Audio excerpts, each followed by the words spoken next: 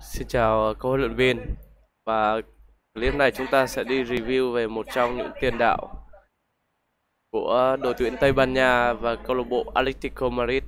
Đó chính là Diogo Costa mùa TC Tournament Champion League. Thì uh, ở mức thiệu cộng 1 anh có thể thi đấu tốt ở vị trí ST và vị trí CF với chỉ số chung lần lượt là 89 và 87 Costa có mức lương là 16, chiều cao 1m88, nặng 81kg, thể hình trung bình, chân thuận, trái 4 và phải 5. Anh có 3 sao kỹ thuật, chỉ số gốc bao gồm ăn vạ, tranh cãi và ma tốc độ. Khi thi đấu các bạn thể để anh ở vị trí ST hoặc CF. Thì ở vị trí ST Costa mạnh nhất ở khả năng rất điểm và khả năng chọn vị trí cộng với phản ứng. Như vậy mùa TC của Diogo Costa là mùa có AI chạy chỗ rất thông minh. Ở vị trí CF cũng tương tự như vậy. Anh vẫn mạnh ở khả năng dứt điểm chọn vị trí và phản ứng. Ngoài ra khả năng tăng tốc và tốc độ của Costa mùa này cũng rất tốt. Khả năng uh, lực sút và dê bóng cũng như là các chỉ số của một ST hoàn hảo là rất tuyệt vời. Vậy thì khi đặt Kota vị trí ST chúng ta sẽ để chiến thuật đơn của anh như thế nào? Đối với Dio Kota thì chúng ta đặt xu hướng công 3 và thủ 1 sẽ nách hỗ trợ phòng ngự cơ bản, đánh chặn thông thường và cháy chỗ.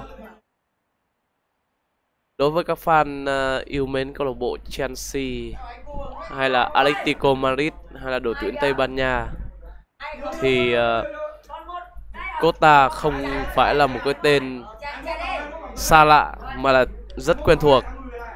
Anh đã có những năm tháng thi đấu đỉnh cao trong màu áo của Atletico, của Chelsea và cũng đã có thời gian khoác áo đội tuyển Tây Ban Nha.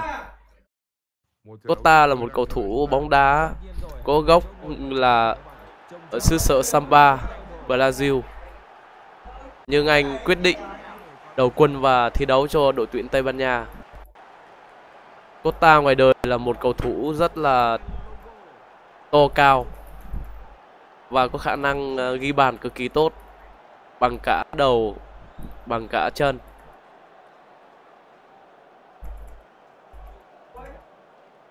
Như vậy là chúng ta thấy rằng là khả năng cầm bóng bước một của Costa là rất tốt. Khả năng đỡ bước một là cực dính bóng. Sức mạnh của Costa chính là một lợi thế của anh, cộng với thể hình cao gần 1m9 Costa có thể đè mặt và tông húc với bất kỳ một hậu vệ châu bò nào. Vì thế, khi cầm ờ, Costa, các bạn sẽ thấy rất là đầm tay vì khả năng ờ, đi bóng và giữ bóng của anh là tương đối ổn.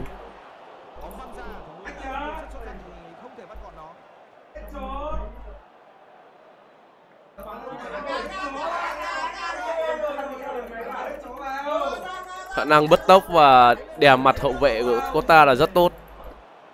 Costa một cú ZD rất tuyệt vời. Và chúng ta thấy rằng là khả năng rất điểm bằng ZD của Costa là rất tốt. Bóng đi có độ hiểm và tương đối xoáy. Tôi rất thích cầm uh, Diogo Costa khi mà anh cầm bóng anh có thể vừa chạy vừa đẩy hậu vệ đối phương ra. Và đối với Diogo Costa thì sức mạnh của anh chính là yếu tố tạo nên nét khác biệt Các à, nhà lập trình game đã tạo cho Costa một mùa giải TC thật sự ấn tượng Làm nổi bật lên khả năng của cầu thủ này Đúng như ngoài đời thực. Khi mà anh thi đấu ở thời kỳ đỉnh cao của mình Một trong những tiền đạo rất lì lợm, rất mạnh và giàu về thể lực cũng như sức mạnh. Nhưng khả năng ghi bàn cũng cực kỳ là tuyệt vời Sắc bén.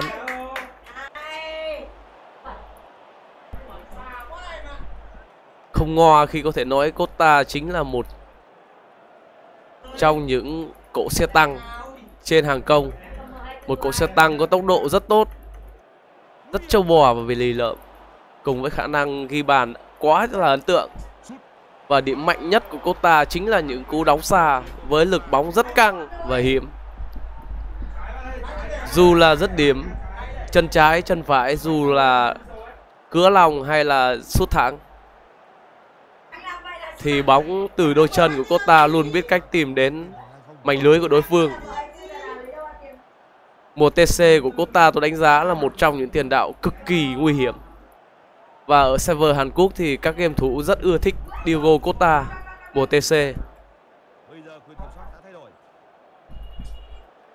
Nếu để nói về một điểm trừ của Costa thì có thể nói rằng là khả năng dê bóng của anh không quá là mượt mà. Vì anh vốn dĩ chỉ là một tiền đạo rất điểm và rất điểm. Cùng với đó khi cầm bóng thì anh có xu hướng là thích tông húc với các hậu vệ. Một trong những tiền đạo có mái tóc và khuôn mặt rất ngầu. Một phong cách thi đấu rất kiểu Rambo Mỹ. Và ngoài đời thì Costa là một cầu thủ rất nóng tính. Trên sân anh có thể gây gỗ với trọng tài, có thể cãi nhau và đánh nhau với đối thủ trên sân luôn. Một cầu thủ rất cá tính và hầm hố. Khuôn mặt trong in game có vẻ điển trai hơn ngoài đời thực.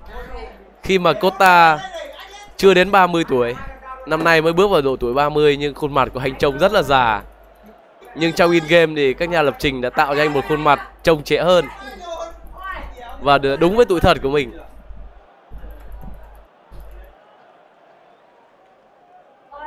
Để khen Costa thì chúng ta khen bất kể lúc nào, đặc biệt là mùa giải TC này đã nâng tầm anh lên một trong những sát thủ khét tiếng khét lẹt của FIFA Online 4. Và thật sự anh xứng đáng với biệt danh kẻ săn mồi vĩ đại.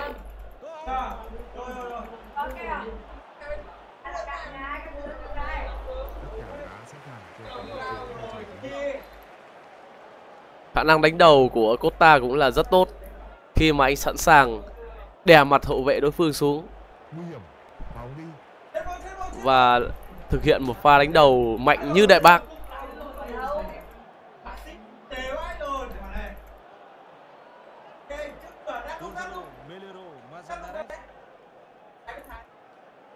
Mùa giải TC ra mắt và cho các bạn được rất nhiều những huyền thoại và một trong những uh, cầu thủ nổi bật đó chính là Dio Costa Ngoài vị trí ST thì Costa có thể đá ở vị trí CF khi mà những chỉ số như là truyền ngắn, truyền dài và kiến tạo của anh là rất tốt. Costa có thể phù hợp với mọi sơ đồ chơi của các huấn luyện viên từ Tiki Taka cho đến Takadada. Và khi mà chơi ờ, uh, Costa ở vị trí CF thì các bạn nên để ST là một tiền đạo nhanh nhẹn. Sẽ tận dụng khả năng làm tường của Dio Costa. Còn khi thi đấu ở vị trí ST thì hãy để Costa thi đấu một mình. Bởi vì anh có thể làm trọn vẹn tất cả từ khâu ghi bàn đến khâu làm nền cho các tiền vệ.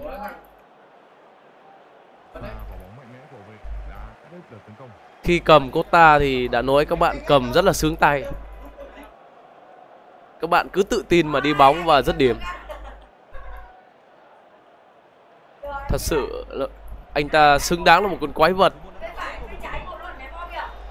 Trên hàng công của các huấn luyện viên sử dụng anh ấy. Costa TC mang đến cho chúng ta một sự khác biệt. Một thái độ khác về một ST nguy hiểm. Mà thậm chí khi mà so sánh Costa với Dô Béo thì tôi thấy Costa còn nhỉnh hơn Dô Béo ở những pha tông húc. Và đặc biệt là khả năng đánh đầu của ta cũng là rất tốt. Còn khả năng dứt điểm của hai cầu thủ này là 50 50 khi mà so sánh mùa TC với mùa top chen của Dô Béo. Costa mạnh hơn ờ, Dô Béo ở sức mạnh và thể hình.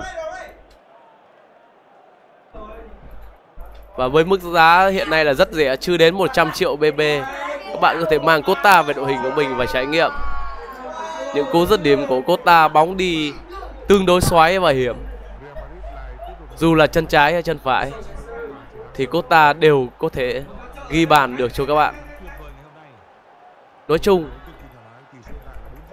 khi mà cầm ờ, Cota Costa vị trí ST thì các bạn vừa có một trong những quân châu giàu sức mạnh, nhưng lại có một sát thủ đích thực trên hàng công của mình.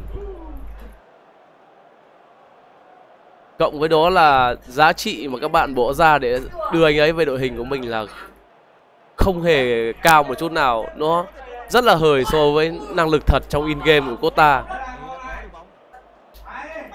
với một chỉ số ST89 không quá là nổi bật, nhưng Costa còn mạnh hơn thế.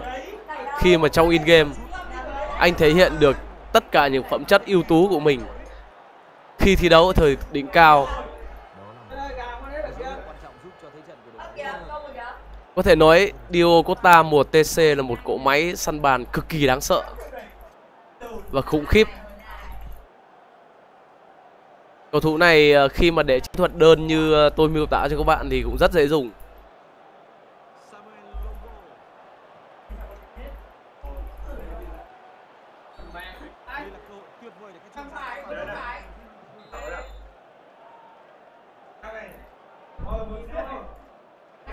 Đối với những uh, huấn luyện viên yêu thích câu lạc bộ Atletico Madrid, Chelsea hay là Tây Ban Nha thì việc đưa Costa một TC vào đội hình của mình là một sự lựa chọn rất là đúng đắn.